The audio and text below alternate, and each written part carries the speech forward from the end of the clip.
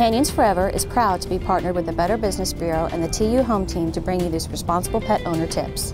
Regardless of the season, all pets need adequate water, food, and shelter to keep them out of the elements. Also, spaying and neutering is important and vital for, and healthy for your pet.